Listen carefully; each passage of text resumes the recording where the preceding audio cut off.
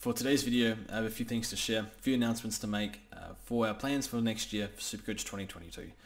Uh, in regards to the podcast, uh, my own YouTube channel, and also at the end of the video, I'll share a few things about um, players that I want in my when Supercoach opens, uh, players that I'll have in my starting team, players to watch over the preseason. But uh, definitely been a long pre uh, long off season, and can't wait to get back into it. So um, before we get stuck into it, actually, um, if anyone's seen the TV show Arcane on Netflix, best show ever. So I'm just saying. But, but we'll get back into the Supercoach stuff. So so next year our podcast will be called Fantasy Take TV. We'll, be saying FTTV a lot. Um, so reason why it's no longer Supercoach Take, not because it's a fantasy podcast. Um, it's still a Supercoach podcast, but um, just the branding, the um, the Twitter page will do a little bit of NFL, NBA, and also a little bit of AFL fantasy, but 90% will be AFL Supercoach, and the podcast will be 100% Supercoach. But just gives us a bit of flexibility for the future. So um, yeah, still the same podcast, but it will be a video podcast. So um, I think that'll be fun to see the reactions on our faces when we uh, uh, give each other shit. So I think um, can't wait for that. But yeah, it should be good. So you can see the salt, the tears from JD when he complains that that something didn't go right. He fielded the wrong rookie. So so I think that'll be fun. Um, we're also looking at doing a Patreon for next year. So it's very important that we get this right and. Uh, we're still deciding on whether we do it or not, and we're gonna list. We will list um, what we're doing, what what the Patreon would have in it in January, and we'll get feedback from it. If it gets good feedback, we'll do it. If it doesn't get good feedback, we won't do it. But you know, it won't be expensive. But some of the things we're looking at doing are, just off the top of my head. Um, so we'll do some tournaments with prizes. So um, sort of like knockout, like eliminator, but um, we'll do our own, maybe with like a double bracket, something like that. Hopefully, get a lot of people join that. Um, we'll do video reviews of players in the Discord. Uh, we'll have player power rankings um, in in the Discord as well as you know maybe once a week. Uh, some of us, me, JD, or know probably two of us jump in voice chat and people can ask us questions for half an hour during the week, stuff like that. So it'll be stuff like that. Um, more details will be released in January, but we want to make sure we get it right and it's well received. Otherwise, we won't do it. But um, something that we're looking at nonetheless.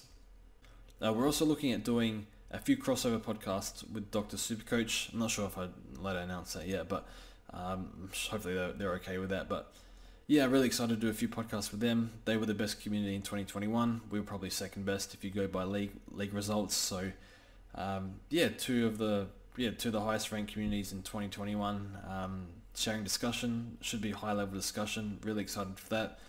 Learn a few things. So I think that'll be good. Um, but yeah, they, they run a really, really professional, good podcast. So um, it'd be good to mix with them. So onto my own team. So that's the plans for 2022. Lots of things going on. Um, on to my own Supercoach team. So this is a this is stuff I can't wait for. Um, first name I have Jordan Dawson. I think the Crows really really need him to play inside mid. To be honest, but I'm not the coach. He might be played on a wing, but you know he played inside mid as a junior. He's a great ball user and he's tall. I think the Crows really need that at um, right now in the midfield because the tall, powerful mids kill us every time. So see how that goes. Um, but yeah, if he plays inside a I think he's got a pretty high ceiling. So we'll see. Another player that's interesting is, well, in the rucks this year or in 2022, I think the rucks will be very difficult because Gawn and Grundy, it's not quite as clear cut. There might be another ruckman pop up. You know, Sean Darcy's there, but he's got injury issues. You know, Rowan Marshall, do you want to start him mid or forward? Um, is Grundy gonna get back to his I don't know 120 average? Probably not 130, but can he get back there? Um, but Oscar McInerney, 500k was the second or third. I think it was second highest scoring ruck after the buy in 2021. Having a big preseason apparently wants to. I think Zorko said he wants to be the best ruckman in the league. Uh, really impressed on day one of preseason. So it's got me thinking. So I think I'll just chuck him in at R2 for now, but we'll see. But yes, I was very impressed with him in the final series. Um, but he's been very good. He was very good. So we'll see how he goes. Um, does have that mark, can do a bit around the ground. So that's kind of the modern day ruck, which is good. Now, next point, next few players I want to mention is I think there's going to be a, there will be a lot of players around 200k. So I have Daicos, Horne-Francis, Finn Macrae, Dylan Stephens, Will Phillips, um, might be missing someone, uh, Charlie Curnow as well, will all be around 200k. So a lot of players that I think are reasonable options. Um, Dylan Stephens and Will Phillips didn't really impress me too much in 2021, so they'll need a big preseason. But Stephens might have some opportunity, and you know Will Phillips did miss a lot of footballs in um, junior year, so we'll see how he goes. Daicos and Horne look pretty good. I think Daicos should get some mid time, not sure how much, but Horne-Francis might get a lot of forward time, but we'll see. Um, but high contested rate, so should have good job security and score well.